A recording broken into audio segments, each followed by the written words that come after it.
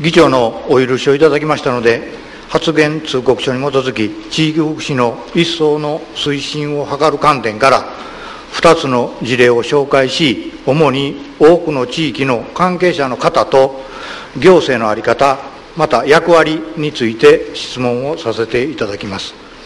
はじめに5月の5日、大学生のボランティアグループにが市内で生活保護世帯の小学校4年生から中学生を対象に本年1月より週1回無料の学習活動を展開しそのシンポジウムが開催をされました。県外からの参加者も多く会場はいっぱいで和やかな中での大学生の発表もしっかりした内容で真摯な姿勢が感じられ関心をしたところでございます。また2つ目の事例では、自治会長をはじめ民生委員、児童委員、福祉協力員、シニアのボランティアさん、えー、福祉協あ健康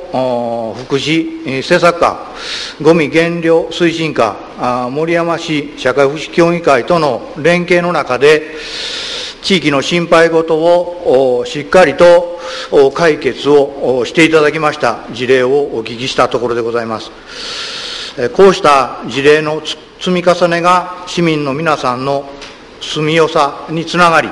同時に職員の皆さんに共有できればと思うところでございます。えー、市では、えー、平成23年度に5か年の第2期森山市地域福祉計画を策定され、えー、森山市社会福祉協議会では平成20年から早野学区から、えー、各学区社協単位で地域福祉活動計画を作成され23年度で全学揃ったとお聞きしております、これらの計画作成は地域福祉を担う多くの関係者の間で現状の問題点課題についての共有化が図られ、解決に向かっての取り組みが、あ取り組みを明らかにするもので、大変有意義なものと考えるところでございます。市内の地域福祉に関わる主な方は、自治会長70人をはじめ、厚生労働大臣から移植の民生委員、児童委員146人、社会福祉協議会長移植の社会協力員244名、健康福祉推進160人、えー、その他、ボランティアの多くの方がおられるところでございます。特に民生委員、児童委員の活動は時代を反映し、5年前の平成18年度実績から比較をいたしますと、活動日数、18年度では2万2000コロコロ6日、1人平均150日で、直近の23年度実績では2万4781日、活動の日数でございます。1日、えー、1人年平均168日となっているところでございます。特に、えー、活動区分で調査実態把握の件数は1724件から5394件、3倍となっております。赤ちゃん訪問事業への取り組みを考慮いたしましても、著しい増加であると、このように考えるところでございます。近年は事例の増加もさることながら、個人情報保護により対象者へのアプローチも大変困難な中で活動されているとお聞きしますしまた自治会長さんからは新たな引き受け手がなかなか見つからへんというようなこともお聞きしているところでございます。今後ますます少子高齢化が進む中地域福祉の課題案件が増加し、えー、深刻化していくことを考えますと市は地域福祉の担い手である多くの関係者の方と前段に申し上げました2つの事例のように先頭に立っての対応と並行して関係者との適切な情報の共有と連携を良好に行うことが最も大切ではないかと考えるところでございます。市役所ほど市民の情報を把握しているところは他にございませんし、また多くの市民との関わりの中で事業を進めているところも他にございません。そんな中、健康福祉政策課では本年度新たな事業として一人暮らし高齢者などの災害時要援護者のデータベースをの作成に着手するとお聞きをいたしました地域福祉を担う関係者との情報の共有あ提供共有の側面からこの作成についてどのような手順で進めようとされているのか。またこのデータについて地域福祉の担い手であります自治会長をはじめ民生委員児童委員などへの情報提供の在り方についてどのようにお考えなのかお尋ねをします。また社会福祉協議会に民生委員児童委員の事務局がある中で、えー、その民生委員児童委員と福祉協力員とが先の活動計画作成を機に地域の課題に一緒になって活動している学区もあるとお聞きしております。学区それぞれの特色経緯があるとは存じますが先を見据えた取り組みだと思うところです。こうした取り組以外に多くの行政との連携共同が一層必要になってくると思うところです。そうした観点から今後主として地域福祉関係者への連携を図るためにどのように取り組んでいこうとされているのかお尋ねをします。以上健康健康福祉部長にその所見をお尋ねをするいたします。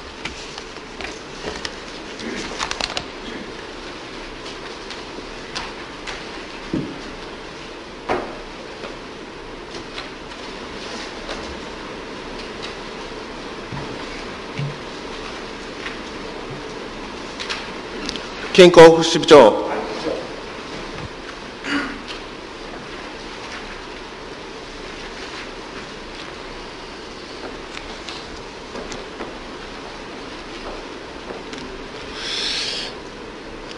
石田議員ご質問の地域福祉の推進についてお答えをいたします。議員仰せのとおり、市では自助、共助、公助の考え方のもとに、平成23年6月、第2期地域福祉計画を策定、また、学区担当保健師の設置や各会館に福祉コーディネーターを配置し、身近な窓口として相談業務を行うなど、地域福祉の向上に努めております。また、地域福祉の中心的な活動をいただいております社会福祉協議会では、それぞれの地域の実態に即した活動計画として、自治会長、民生委員、児童委員、福祉協力委員など各種団体で組織されております、学区の社会福祉協議会におきまして、平成23年度までに、すべての学区で地域福祉活動計画を作成いただき、より身近な地域での活動を展開いただいているところでございます。さて、ご質問の災害時要援護者の台帳整備についてございます。災害時要援護者台帳は支援が必要な高齢者や障害者の方の情報をデータベース化し、その情報を自治会、民生委員、児童委員、そして防災関係者と共有することにより、避難や救助に活用し、災害時の人的被害を少なくする目的で整備しようとするものでございます。その手順といたしましては、今年度の9月をめどに昨年度に導入いたしました災害時用援護者代償システムに、障害者手帳認定者、介護、介護、要介護認定者、また一人暮らし高齢者などの情報を、地図情報などを取り込む作業を行います。合わせまして、個別の支援情報の項目について、民生委員、児童委員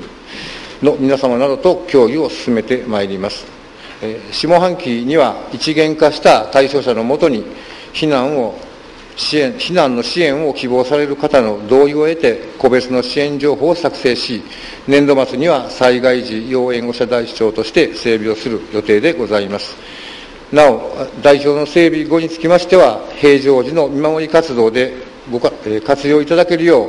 自治会や民生委員、児童委員などに提供し、情報を共有してまいりますとともに、民生児童委員、民生児童委員や地域の個別の支援の方法について整理してまいります。次に地域福祉関係者の連携に図るための取り組みでございますが、ご案内のとおり、早野学や川西学では高齢者の見守り活動において、民生委員、児童委員と福祉協力員がともに連携を取りながら実施いただいておりますし、また自治会では現在46の自治会で福祉部会を組織いただいており、高齢者サロンや子育てサロンなどを実施いただいているところでございます。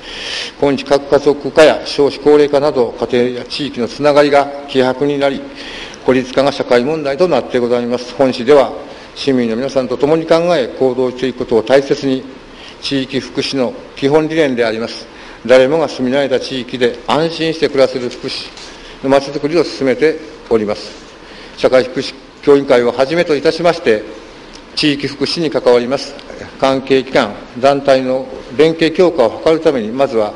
市と社会福祉協議会の定期的な意見交換の場を持つことや、民生委員、児童委員などの会合への出席、さらには地区会館長や地域担当保健室との連携を取りながら、相談ごとへの対応、また学区社協への参加など、ネットワークの強化に努めてまいります。以上、答弁とさせていただきます。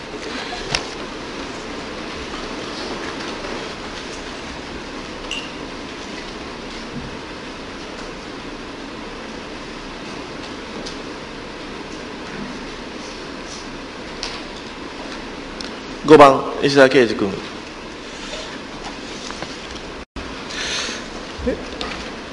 はい、えー、それではあの災害時の援護者台帳の作成につきましては、あ地域と相談しながらあ取り組んでいくということでしたし、その成果は地域に、えー、提供していくということでございました。また、